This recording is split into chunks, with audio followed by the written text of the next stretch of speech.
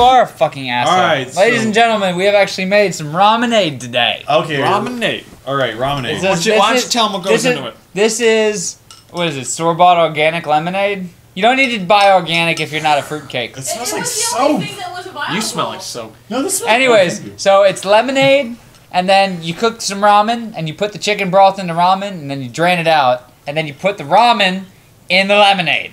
Okay, hold on. It's on. about a third of a cup of noodles to two thirds of a cup of oh. lemonade. All right, And, and right now, like I've already do- drank Hold mine, on, so hold on, hold on. You just converted them like noodles with the, the juice. Okay, so what you gotta do is you take your fork, you pick up some of the noodles, you put them in your them in your mouth, mouth. and then you drink.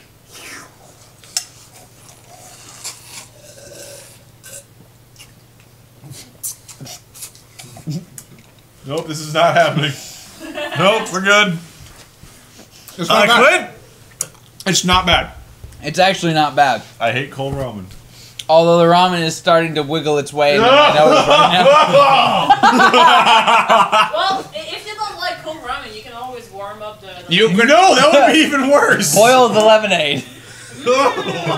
Ah, I could not This take is something we're going to have to try in future episodes. Cheers. Of let's drink ramen. You guys can have all that. I'm good.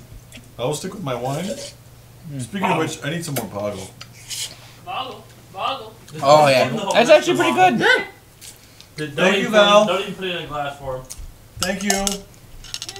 The challenge is yours. I can do this every once in a while. Do Oriental flavor next, kids. Tell us how that tastes.